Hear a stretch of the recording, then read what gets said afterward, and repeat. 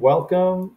In the previous video, I have uh, shared meditations on the steps towards superintelligence, which is not a mathematical or super uneducated series of guesses, but those guesses are based on uh, in- independent research. And my sense is that on a human scale, we may be pretty close to a, a reality that would be the equivalent of what is known as artificial general intelligence, which I call in, intelligence that is independent of a substrate. Only that that intelligence is going to be able to do a task or any task, whether it's cognitive or mechanical. Um, at the very least, those two uh, that any human can do, that intelligence would be able to do this.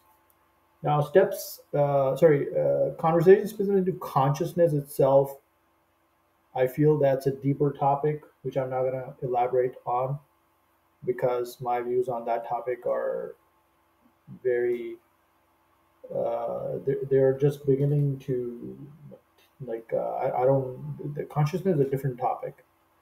Uh, historically, there's two kind of, at least, binary set of thoughts with regards to consciousness existing, and it's uh, possibly unlimited man- uh, like forms and uh, what have you.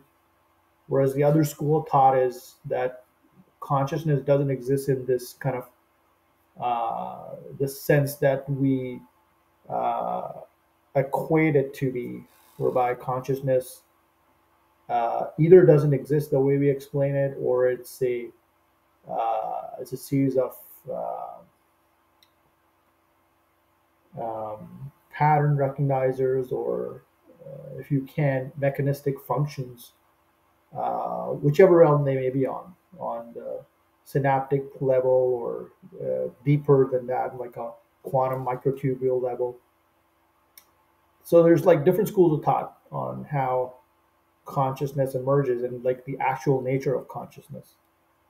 I think it's a it's a it's a deeper topic because i'm I'm like halfway through a book written by a fellow named Russell Targ. And I'm not going to talk about that because that wasn't going to be the uh, focus of today's topic. So I'm going to stick with building up on the meditations from the 8th of, uh, sorry, the 8th, uh, November the 8th, uh, primarily these two videos. And uh, if you haven't, I would encourage you if you are interested, watch part one of that talk and then part two where I uh, kind of share a model uh, that I've created. So I've, I've spent a little bit more time thinking about the first model, uh, which is this one. This this is a model too, um, but I need to. This model is almost a decade old, so I need to go back and refine it. Um, but primarily, this is the model I talk about in those two set of videos uh, with regards to steps to superintelligence. And um, maybe it makes sense to. I got some comments there, so you can just ignore them. That's just a reminder to myself. So I'm not going to explain this model again, um, but uh, that's what the, what the two videos are for. Uh, as I've shared in that video or those those two videos, I modified Sara Seager's equation, uh, whom I do not know personally. And this is a very bad attempt at modifying the equation to fit what I, I'm beginning to think about. Um, so segue into the other two videos that I've posted in the past three weeks or so, and uh, um, my, my my sense is, if I can draw a diagram, is that with uh, with more, change the color. With uh, what am I doing here? Uh, I don't want the eraser. I want the line.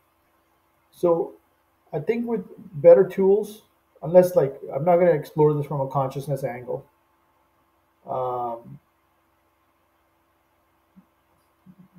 so yeah, with, with better tools, we're going to be able to get to more data, and there's going to be insights captured within that data.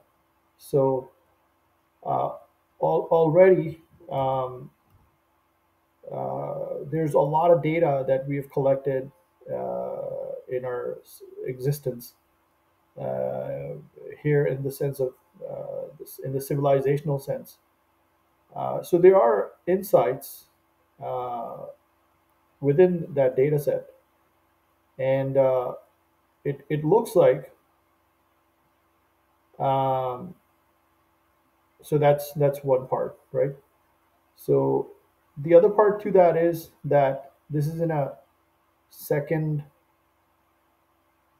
Uh, actually, it's not like that. It's written. There's a really good book. It's called The Second Machine Age, which I have read. It's been a while since I read the book, and uh, the uh, my writing is not so great here. Maybe if I write like this. Uh, so, if I recall correctly, you have uh, they don't they don't talk about this right now, but right now we they don't talk about this in the book, but right now we are in a scarcity based environment. I'm gonna talk I'm gonna talk about this later. I wasn't I wasn't planning to, but right now we are in a scarcity based environment, which uh, exclusively leads to a lot of uh, negative sum games. Negative sum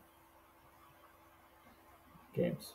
Okay, that means in a nutshell, the way I understand it, uh, somebody's loss equals somebody else's gain, right? Uh, I don't know if I'm representing this correctly mathematically, but but that's that's my understanding of a negative sum game. So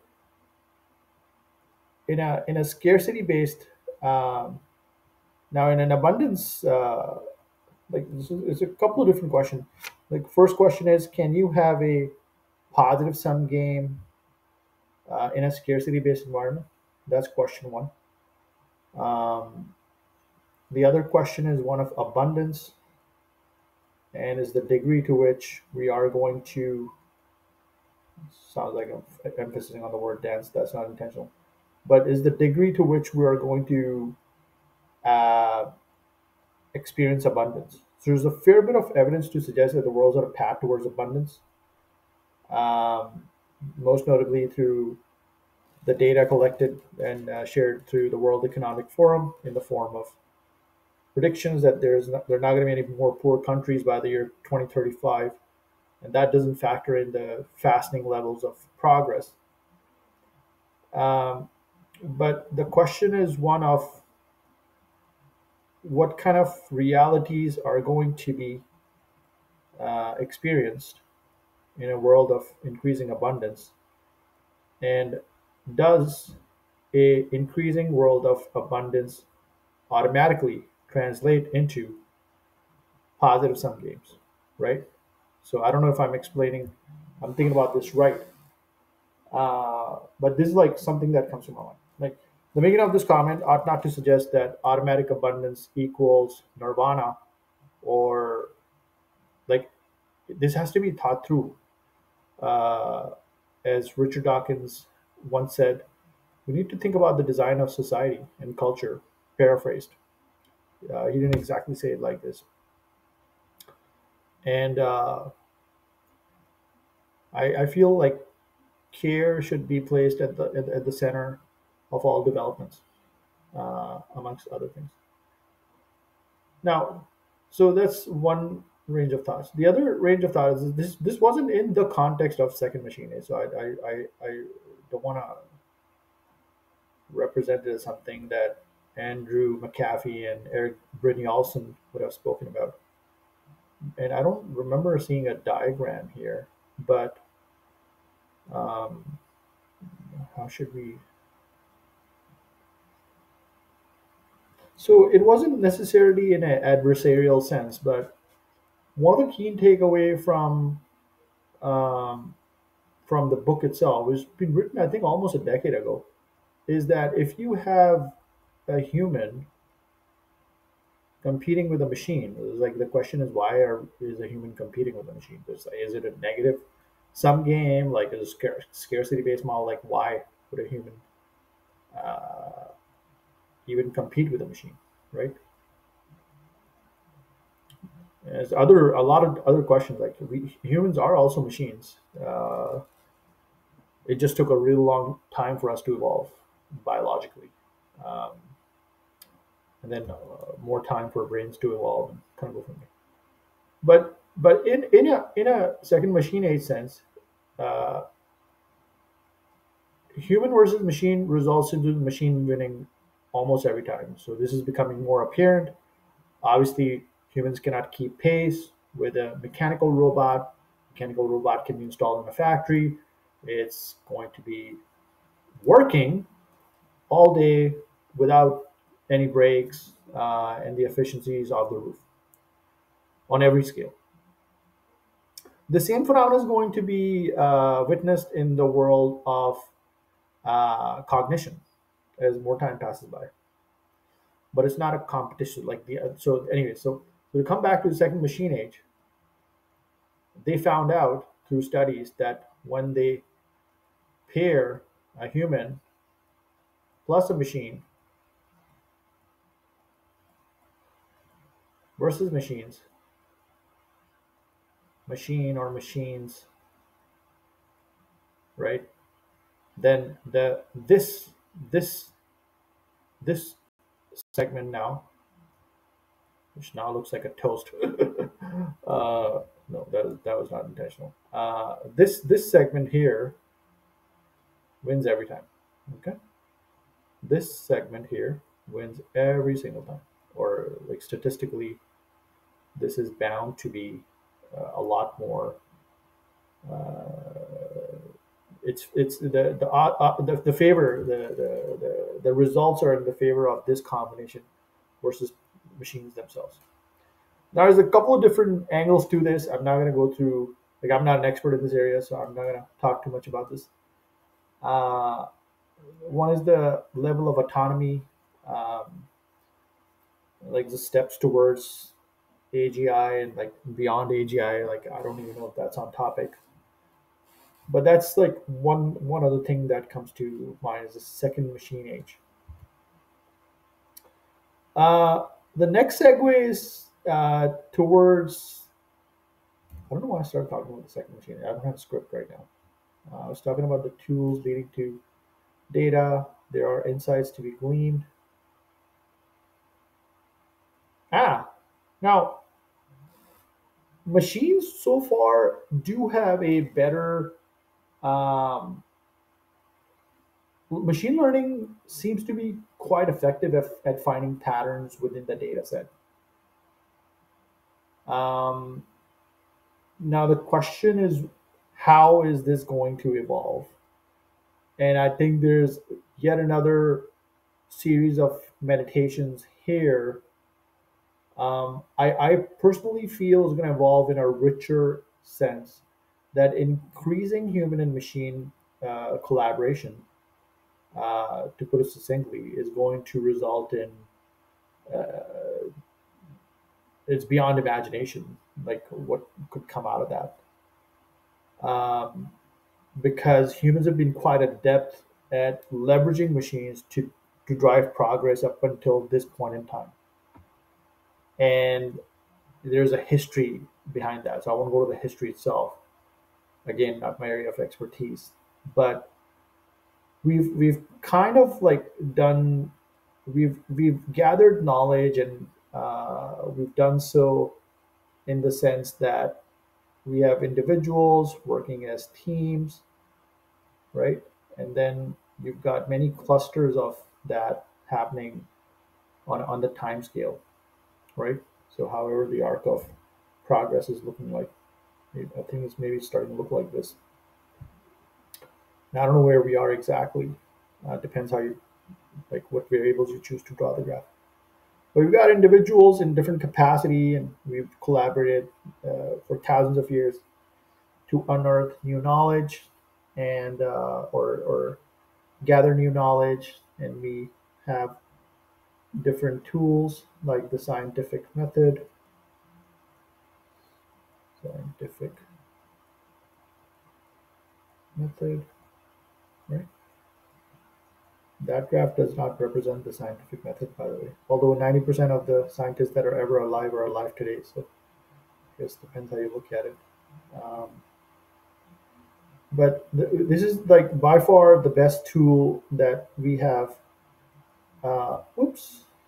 Um,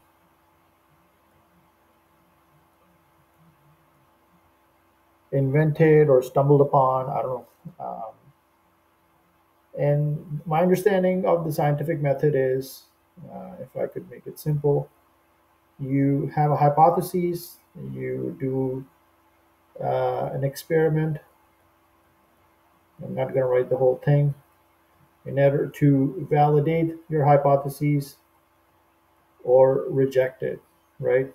And uh, you have new findings, and based on those findings, you repeat the method. And once this is, uh, there's another the other things to that as well, like peer review and what have you.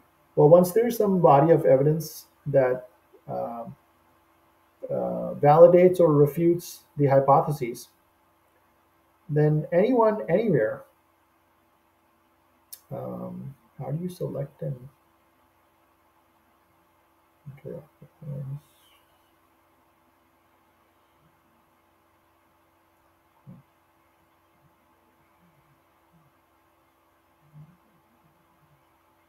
So uh, you can't send it to to me.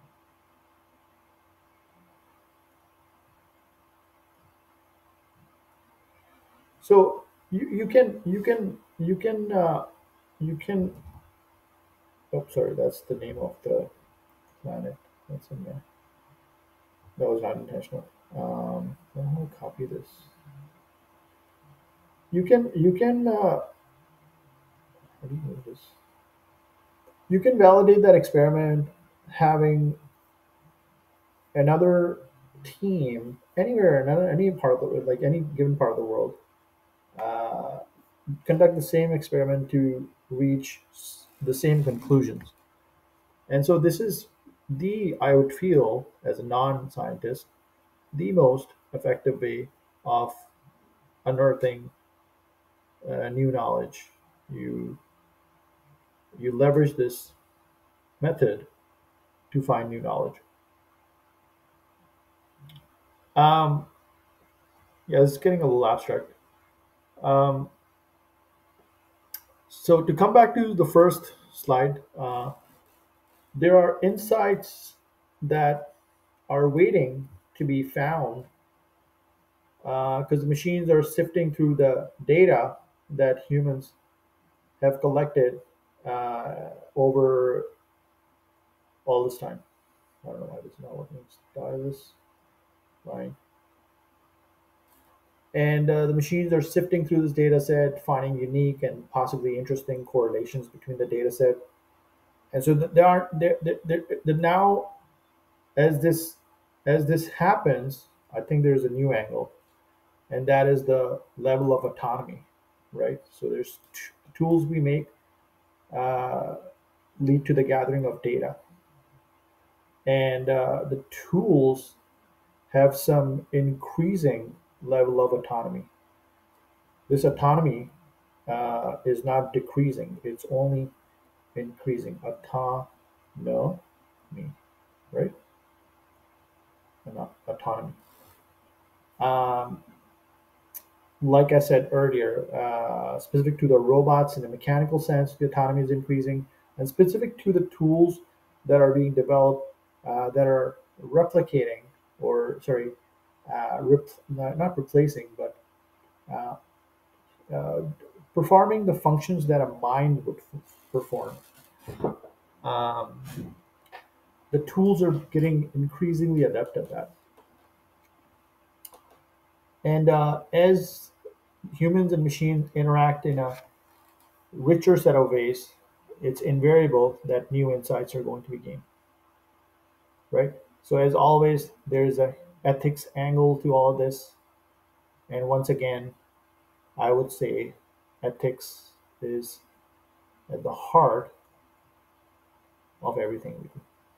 I think I can type this. It's going to be faster. Right? Ethics are at the heart of everything that we do. Well, it did work, but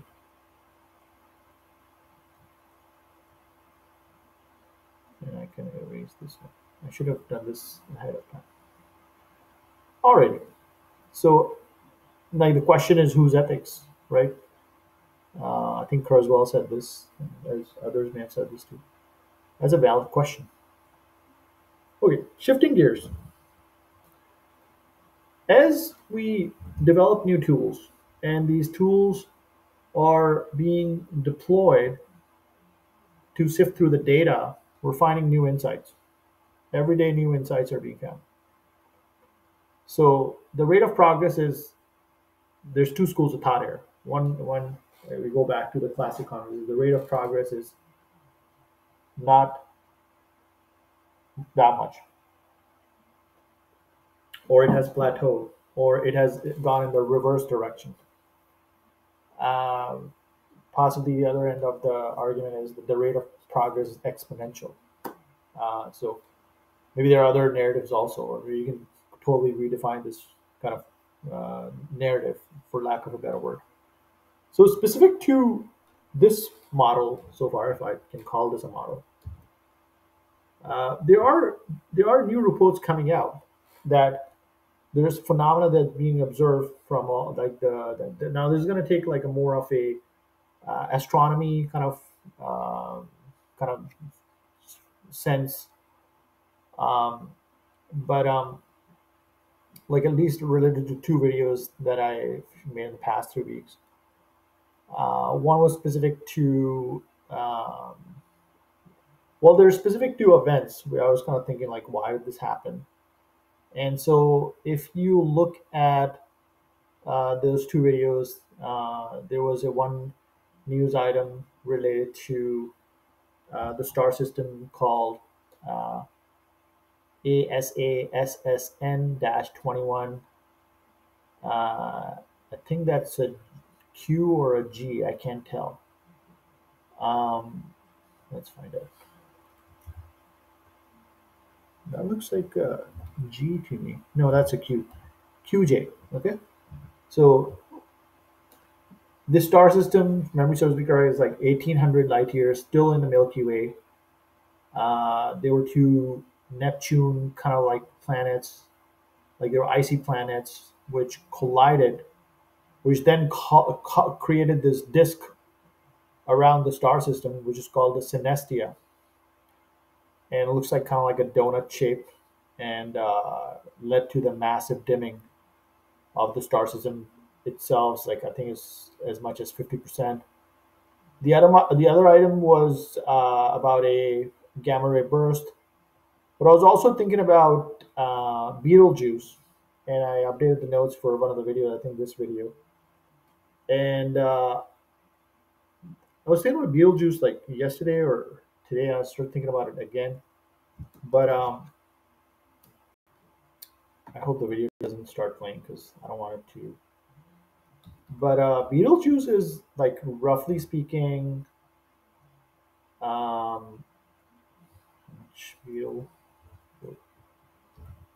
uh, uh, less than 650 light years away. So I was I started I started thinking about um, like uh, this is going to go in a different direction at this point. So maybe I should use another. Well, just I think it's going to be all related to one video, so I can just put it all in one board. But I was now thinking this is going in a again different direction. Um, how do you draw a circle? Well, I'll just draw it like this. So if this was the supermassive black hole, Sagittarius A star, towards the center of the Milky Way, the massive, the most massive object we know of in the Milky Way, Milky Way now, because uh, there's another thing I also mentioned in that video, which is a gamma ray burst, which is in another galaxy. In that case, that galaxy is almost a billion with a B light years away, whereas the Milky Way is only 120,000 uh, or 100, 100 to 120,000. I forgot to add the K in the last video, uh, light years across. So if this was the entire Milky Way, right, it would be around 100 light years across. So 60,000 light years here, 60,000 light years there, right?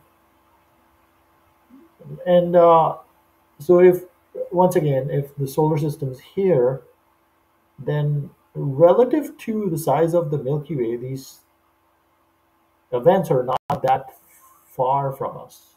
Uh, depends how you look at it. I mean, we're talking light years, and we have no technology to uh, even. Uh, I don't even know if we have a laser that we could um, beam towards. Um, say we had some preemptive warning that something's going to happen to Betelgeuse, or uh, a, a like what? How you say this? Uh, well, looks like assassin. ASASSN dash 21 uh, QJ, right? Say we had some preemptive warning uh, that this is going to result into a the the explosion that's going to create the synestia, and uh, on the flip side, uh, Betelgeuse is going to uh, blow its so-called top off, right, relative to our uh, view. Uh, so if we did have that knowledge and like i mean even if we could send a signal it will still take this amount of time for the signal to get there right? And there's like a lot of other questions of that nature. Um, and it would take uh, i think this is this star system is like 1800 light years across so like I don't even know how we do that, right? So, like from from our vantage point, it, it I don't know how you, you do that, but like if you could send some preemptive warning, how do you get the message about it? like there's no such thing as faster than uh, no transmission of information faster than the speed of light. Please, I don't know of this of this uh, method. Um, so yeah, in the previous video, I kind of meditate on this, the two videos that I've made, uh, that relative to the size of the Milky Way, not the universe, the Milky Way, the galaxy that we are, that the solar system is part of. Uh, these events are not that far from us. So, like, if this represented the entire area or like area, not the volume, of the Milky Way, um, then you know and this this i don't know if i explained this well in the last video. So this represent 100% this is 50% so this quadrant would be 25% so relative to us is it's not that far. I think i did the math. And it's like i forget like i can't recall the top of my head. It was like relative to the size of the milky way these events are pretty close. The, the question i was asking is why like why did they happen and I found some information specific to, uh, I think this event, uh, and it had to do with the. Oh, it's right here actually. The article. There's a good article I found on Universe Today, and it says that um, the gas component in the protoplanetary disk was largely removed, and its removal makes collision like this more likely. So I haven't had a chance to go through the Wikipedia article of protoplanetary disk but the question I had is why? Like, first of all, what exactly? I mean, I can, I, have got a surface level understanding uh, of what a protoplanetary disk could be. Um, but why would the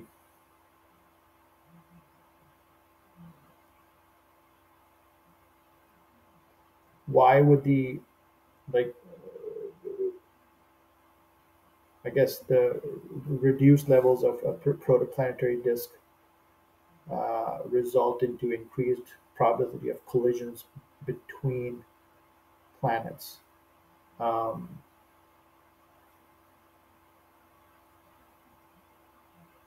maybe they maybe they move around the star system um, that much more like relatively faster because they don't have I don't know they don't have mass through push through. Um, so it's like it's whatever the gravitational pull of the star is, they're just kind of going around it.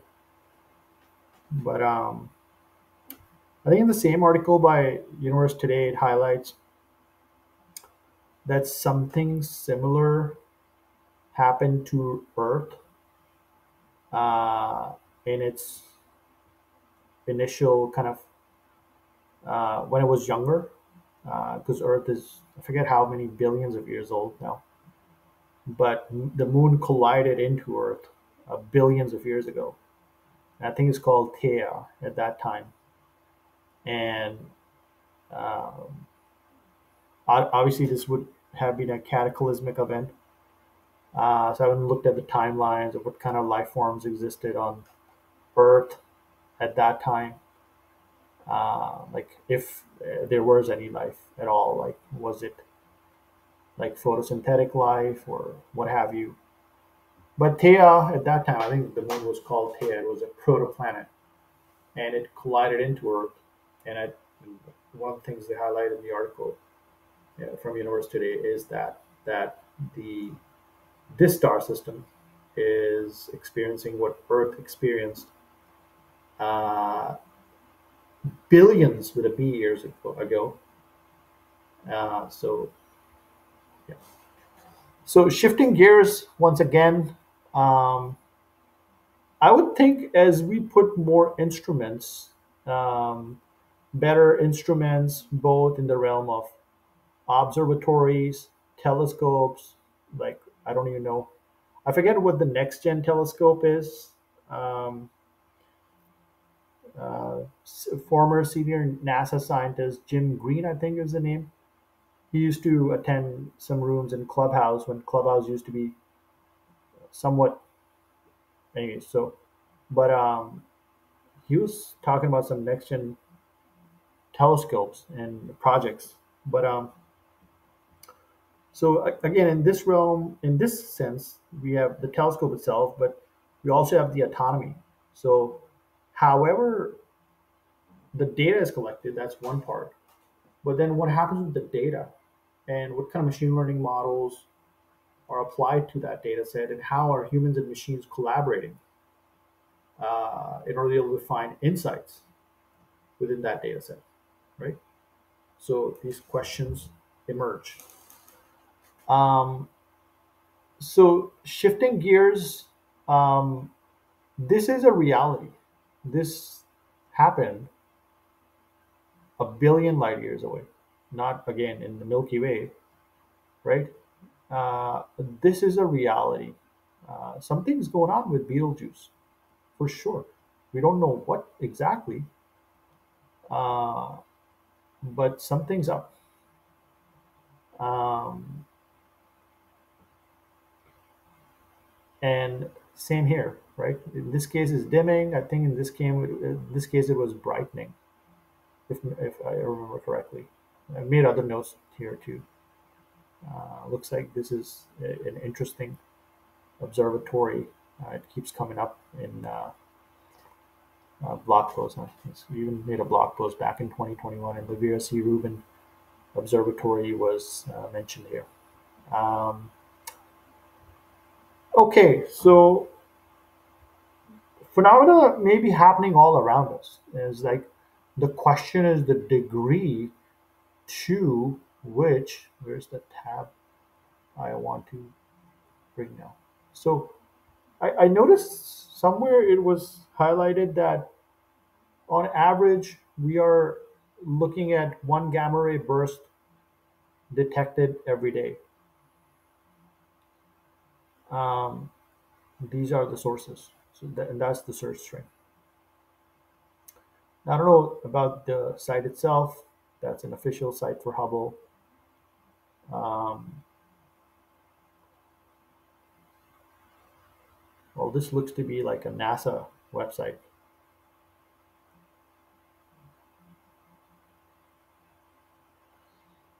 Well, this says one per day if you're able to watch the entire sky all the time. I don't know what that means. Because relative to our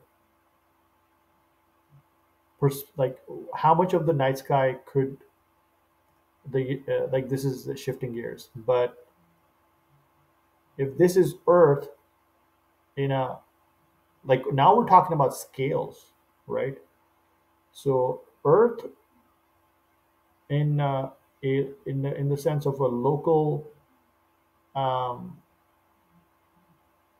i mean earth is the speck even in the sense of uh, like if this was the, the centauri system uh, or the stellar um, kind of masses close to the sun the capital s like the sun we see in the sky. Uh, all the stars are sun right? Unless they're planets like jupiter or what have you. Um, but earth is like we're talking we're talking scales now like different scales. But contingent on how expansive the universe is like we may not see the we, we only can sense like the observable universe with like newer instruments like james webb. But the universe could be a lot more expansive than the observable universe and if stuff is actually uh, expanding faster than the speed of light at some like i don't know how this actually happens but there are parts of the universe that have been observed where galaxies are moving away from each other faster than the speed of light. And i i don't know much about this but it said to understand this you need to learn about astronomy and uh, astro like i don't know how much of astrophysics is applied here. Um, but um, space can expand faster than the speed of light. We know nothing can travel. Well that's what, what, what, like it's, it's like i don't know. Uh, i'm not going to invoke the quantum stuff but information cannot travel faster than the speed of light. And i'm not going to get into quantum teleportation stuff like that. I don't understand that uh, like how the particles replicate their spin state what have you and if something like that could be in, uh, leveraged in the future to be able to transmit information but uh, based on um, like it, it, I don't I don't know if there's a way to transmit uh, information faster than the speed of light uh, in a classical sense. Um, so there could be a lot more events like gamma ray bursts and also events that have been observed like Betelgeuse recently and this one. Uh, this could like the question is what do events like these uh, represent so if this was a single say this was betelgeuse something weird is happening with it right? I don't know how you i should denote that. But this could be one of many many many such occurrences whereby a normal behavior of a uh, body is observed but it's st- statistically uh, a huge anomaly for a body to uh, ex- exhibit the, the thing it, it is doing, like whether it's dimming or whether it's brightening. And so there must be reasons why it's doing that. And that's just one set of uh, events. Um, so yeah, I don't, I don't know if I've spoken too much about this, but uh, but, but my point is like my, my, my, my point is um, I'm not gonna get into a lot of like uh, I don't know like uh, I'm not gonna get into universes and par- parallel universes possibility of universes like baby universes bumping into larger universes or the other way around. Um, and beyond that, I will I will I will stop there. But um, just in the universe alone, like like I think James Webb is uh, starting to shed some light that now we're talking about the scale of the universe. So I don't know how you would pick like how you would depict the shape of the universe, but whatever the shape is, it is uh, so far in the tens of billions of years. Uh, it's not uh, 120,000 light years for the Milky Way. It is now in the billions uh, of light years across. Billions. It's in the tens. Um, hey, that looks like a face. That was not intentional. uh, I, I, just I, I forget exactly, uh, but I think James Webb is starting to shed some light that the universe could be more expansive than uh, previous estimates. And Lord Martin Rees, show you a picture who uh, somebody who's not familiar is a British um, scientist and uh, well educator. Um, I've yet to read a book by Lord Martin Rees, but I just wonder. I want to like, uh, yeah, that's uh, Lord Rees is of the like one of the things he talks about is if I if I understand it correctly, he's like he explains it like this. He's like uh, I don't know if I'm able to capture the essence of what he's trying to. Ah, that's not what I wanted to do. Uh, he, he, he is this still recording? Yeah. Well, he says uh, that say this is the this is a ship, right? And way off in the distance, say that's the horizon. Just imagine, right? So Lord Rees uses this analogy in order to be able to um, um, say that if you were standing on the surface of the ship, then you would see like here till the edge of the horizon. So relative to your uh, line of sight, this would be the horizon. Now, if the same individual was standing on a mast, and imagine this mast is, I don't know, just imagine. Now, we're not talking about the same scale, but just imagine, he doesn't get into this much detail. But imagine this mast is, um, I don't know, if the stratosphere is, um, I don't know, 50 kilometers, like something like that here, right? Even if this thing was two kilometers uh, uh, long, I think I'm getting into too much detail. So now this person's standing here, right? So I didn't explain it well. So they would they would see farther. Let's put it this way. So the horizon would now appear to be somewhere over maybe here, right? And that wouldn't be 50 kilometers. I don't know why I wrote that there. But the range would extend right? I think that's the right word, range. The range would extend, right? Uh, the range would extend. So, so the whole, I think you should listen to Lord Rees on this topic. But the point is that the universe could be a lot more extensive. We've, we've collected data from our position here, wherever we, we happen to be in the universe.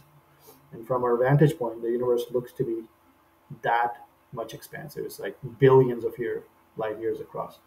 We think it's maybe uh, 14 billion light years across, or I don't know, maybe, I don't know what the updated number is. I think 16 billion or more, but it could be 25 billion, it could be 80 billion or more. Who knows?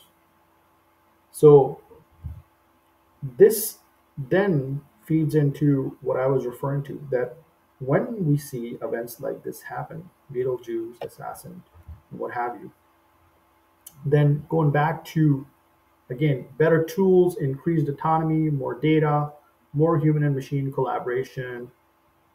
The, the number of such events that are going to be observed could be a lot higher. So I'll use an actual example here. I don't know if there's a good example or a bad example, but I went out for a walk the day after Halloween. And it was after sunset, and I saw some candy on a driveway. Now, imagine that this was you, just for a moment. You are an alien, you land on a foreign, kind of completely alien planet, right? You can kind of become transparent, uh, invisible, what have you. But you see this phenomena. You're like, oh yeah, people have houses, they have driveways, they have cars, but you see this candy on the driveway. And you see like two or three packets of it, right? Now that's a statistical anomaly. But imagine you could somehow capture data from the entire planet. And so the, the key point is that you landed on the day after the event on this planet. Now, that event of the candy being on the floor represents some anomaly. Like you are not expecting these phenomena. Because when you do a statistical analysis around this planet, you find out that this is prevalent or has occurred on more driveways than usual. Now, if only you could go back in time just by a day, this is this is a metaphor, right? Or uh, uh, anyway, so uh, if you could go back just by a day, you would notice that there was an event, and there was a lot of such events happening whereby the probability that they're going to see some residual or some effect like you could you you might want to categorize as as an anomaly but in fact that there's a very good reason why that thing happened and that was the event the day prior where hundreds of millions of uh, these beings, children of the alien, like from your perspective, these would be the children of these aliens. Uh, for some reason, they go out and collect candy.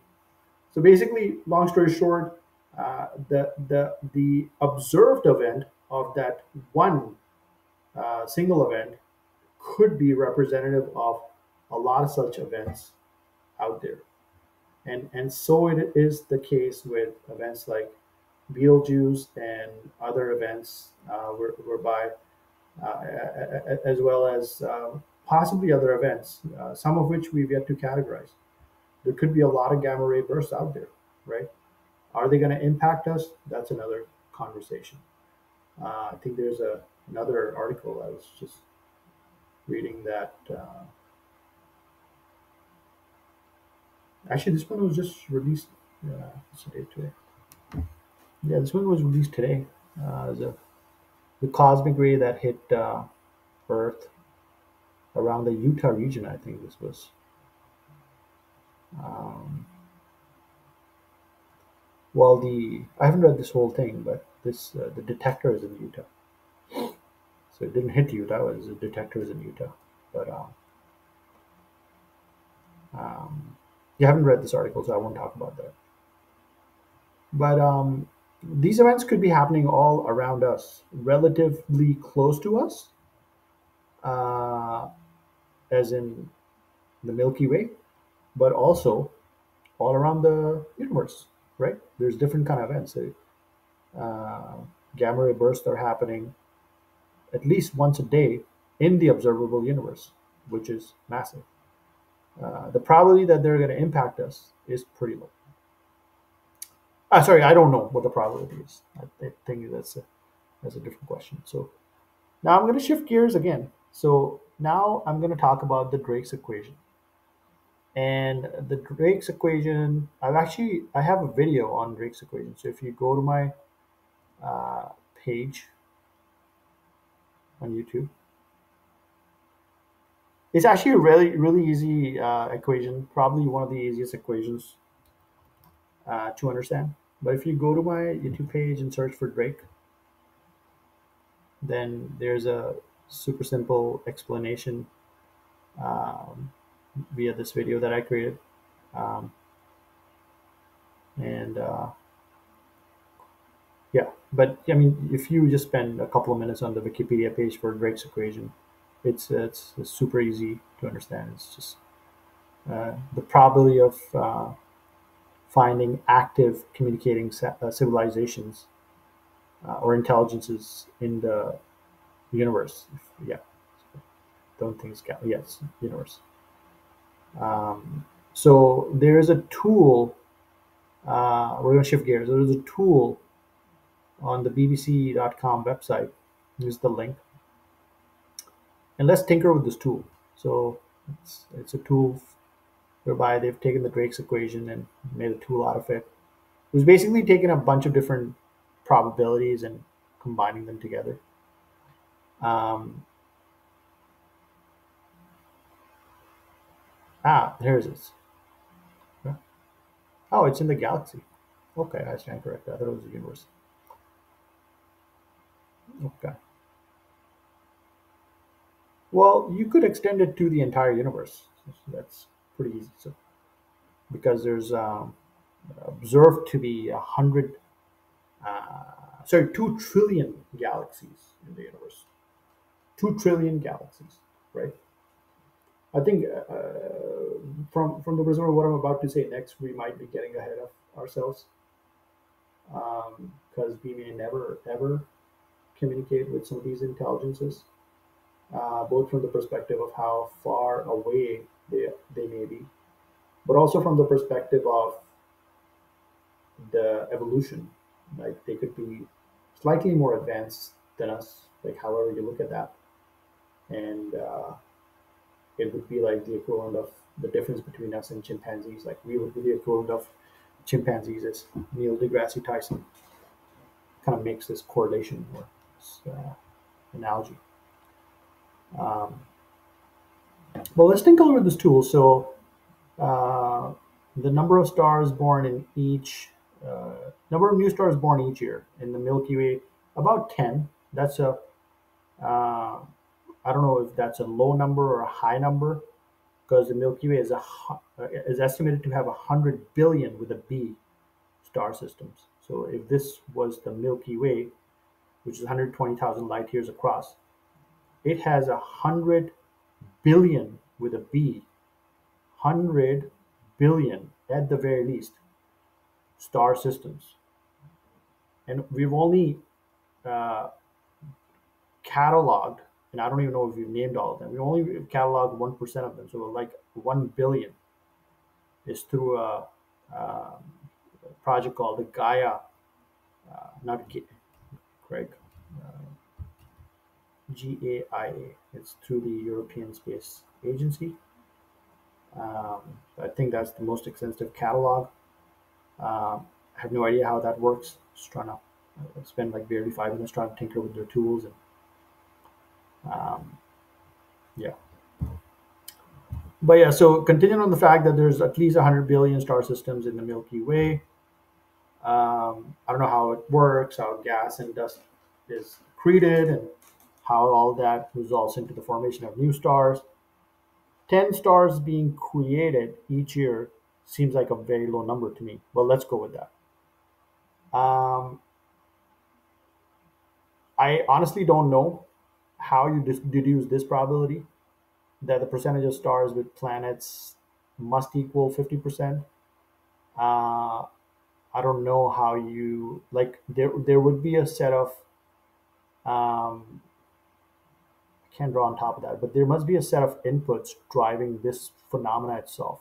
Just this phenomena, this green kind of inverted triangle. Um, so there's like a whole series of thought about the further evolution of the Drake's equation, like more like a 3D represent, representation of a Drake's equation. but there are inputs for the per- percent of stars with planets. That seems like a high number to me, right? I mean, there's no guarantee that 50% of all the stars in the Milky Way have planets. That's, if the estimates are right, 50 billion uh, stars in the Milky Way that have planets. On the flip side, this could be a lower probability because it could be the fact that 90% of the uh, stars in the Milky Way have some planets around them, right? So um, I don't know. I'll, I'll, I'll, I'll, I'll be a little more conservative and I would drop this number down. Let's drop it down more to like 30%. Okay. I honestly don't know. Like I said, they, there would be inputs that would determine what number of stars. I, I think looking at the Gaia data set once again, we could at least come up with approximation, right? So Gaia has mapped 1% of this estimated um, data, uh, like uh, estimated, uh, uh, we estimate there's 100 billion stars in the Milky Way. So look at the data set from the perspective like the one one billion uh, stars that have been, uh, I don't know if catalog is the right word, but are in the Gaia system. We could come up with some approximations, and those approximations could help. That would be like one of the inputs towards trying to come up with a more educated uh, estimate of the number of stars that actually have planets going around them. Uh, there's also this question of rogue planets. Um, it's hypothesized that there are more rogue planets uh, versus uh, actual planets. So if you have, say, uh, 100 billion stars in the Milky Way, on average, each star has just, let's say, four or five planets per star system. So that's like half a trillion, uh, 400 billion to half a trillion with a T planets, if I'm doing my math, my math right, right? So, um, but it's estimated there's actually more rogue planets. I forget if it's in the Milky Way or in the interstellar space between galaxies, but it's estimated there's a lot more rogue planets versus actual planets orbiting some kind of star. So I'm going to leave that there and just kind of classify. It's getting messier here. Uh, but let's come back to the Drake's. I hope I don't run out of space on my Dropbox um, because I only have a gig left. Oh well, let's keep going. Well, I can always do part two. So where was I? Uh, I was here. So the next section is the average number of habitable planets per solar system. A little bit of contention with this part of the Drake's equation uh, because when they say habitable um, like uh, planets, um, they're really talking about the Goldilocks zone. Um, so we're making an assumption that the exoplanets, exoplanet is a planet that's in a star system that's not in the solar system, right? That's my understanding of exoplanets. But the uh, assumption that's being made here is that the life form that is uh, it, it, exists somewhere out there uh, is kind of like us. But even on Earth, we find enough evidence. We see like shrimp living near volcanic vents. We have creatures living in the Arctic. And this is a huge temperature variable. So I don't like what the temperature is near the volcanic vents. But I would assume it gets pretty hot. So they evolved in a different environment, more hotter, more acidic, uh, and they've been evolving there for uh, hundreds of millions, not billions of years, at least hundreds of millions of years, because they, they were in some preliminary form even uh, 60 million years ago when we had a massive extinction on the planet with the uh, Chicxulub kind of crater. Uh, I'm pretty sure sh- shrimps existed around that time, maybe in some slightly modified forms from an evolutionary pers- perspective too. I think that's somewhat. Uh, anyway, so but yeah, I, I, I have a little bit of issue with this section, um, but um, I think further evolution of the Drake equation should be uh, should be an ongoing debate. I think uh, there was an event last year or the year before, in the past two or three years, and uh, Dr. Martine Rothblatt was part of the panel. I, I, I, I, was trying to see if there was a virtual event, uh, but I couldn't. Anyways, I don't know Dr. Martine Rothblatt personally, by the way.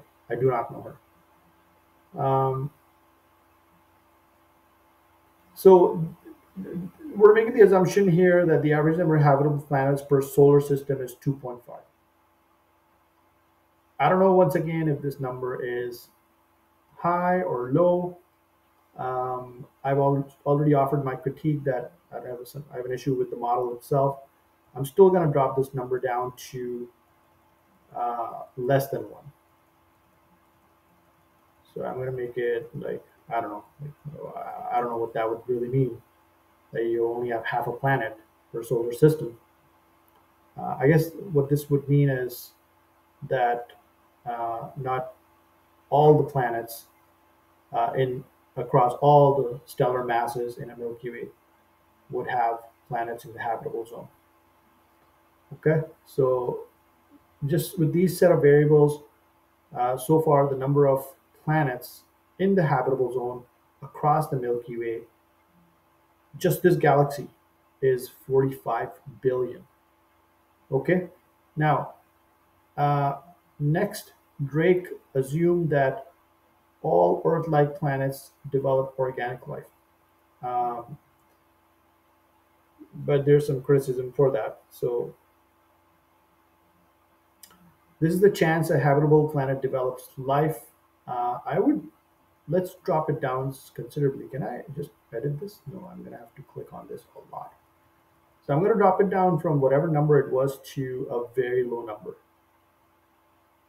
Like, let's say it's extremely rare. I wish I could put decimal percentages here, but the lowest number I can go with is like only 1% of uh, planets It's taking the sum of these variables, by the way. So it's not 1% of 1 billion. Sorry, if it was actually 1% and say there were five planets, no, it's, uh, yeah, it's, it's feeding into, this section is, this section is feeding into this. So we're taking 1% of 45 billion, right? And then that section is feeding into the chance that life develops intelligence uh, the tool is automatically going with 100%. I'm going to once again drop it down to 1%. So if I drop, I'm taking a 1%, there was 1% here already, and I dropped it down to uh, the probability that whatever number is emerging so far only 1% of that develops intelligence. So this is coming to 0 billion, but that is not zero. That just means the number is not in billions. So next, uh, again, if I could drop it down to uh, decimal places, I would do that. Chance that life can communicate across space. Uh, does this mean lasers or maybe some other form of communication that or radio or or some other communication that we've yet to uh, make sense of. Um, I would I would I would say if if I would make the assumption if I can, I would say that if somehow life is I don't know how the great filter works, but if somehow life has developed intelligence, uh, so you know, there's a question of what intelligence. That's a good question. They show an and here I really feel ants are incredibly intelligent, right? And if something happened to humans, different scale, then I, I feel like based on evidence so far, it's probably going to be meerkats or some other form of mammals or maybe some other creature that is going to be the evolutionary um, successor to the next tool making computer making uh, species that is going to emerge on this planet. Because what happened on Earth is we have evidence to suggest that because if it's uh, if the Milky Way is um, well, it's 120,000 uh, light years across. That's the Milky Way, right? And and typically it takes uh, the sun um, if it's going around the supermassive black hole, then I think it's like 260 million years now. Okay. The universe is 120,000 light years across. That's the time that it takes light. If you could somehow shine a very powerful laser from one end of the universe, sorry, the galaxy, the Milky Way, to the other end, excuse me, it would take light 120 light years to get to the other side. But now we're talking about the rate at which the solar system is moving through the Milky Way. And it's obviously not moving at the speed of light, not even close to it. I don't even think it's 1% of the speed of light. Relative to like how our cars and whatnot move, it may be moving very fast. But anyway, so I actually don't know uh, the the speed at which the the universe uh, moves up. But obviously, we can see we're talking about a different scale because that's in uh, even light.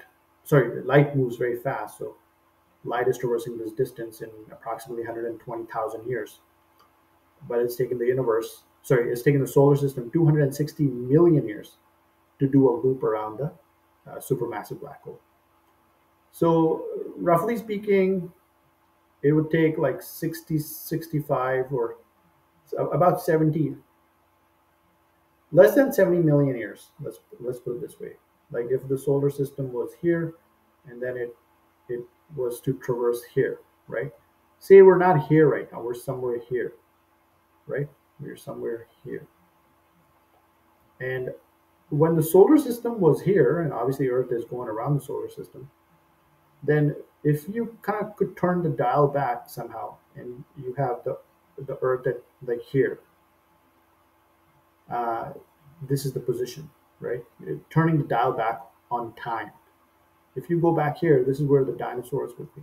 This is 66 million years. Dinosaurs okay?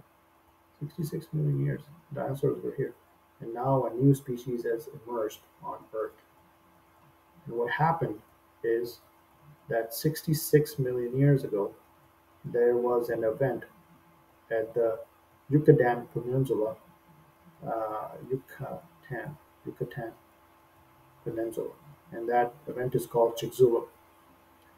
And uh, uh, it was a major extinction event on the planet. Um, and evidence suggests think it's more than 90% of all the life got wiped out and all the life that you see around you uh, incredible diversity.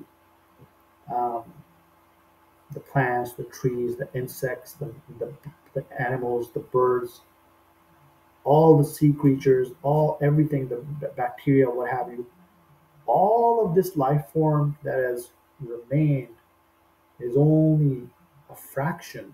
I think is between 1 to uh, 10% of the life that has survived that one event. And maybe uh, it seems a little uh, sensationalist when I'm putting all these stuff in one basket. But that's not my intention. So what I'm going to do now is I'm going to take a break because I'm afraid I'm going to run out of storage here. And I'm going to download this and then do part two. So stay tuned. Um, part two should be on the channel. So if you don't, it doesn't show up automatically, just go back and click on the videos and it should be there. We will see you in part two.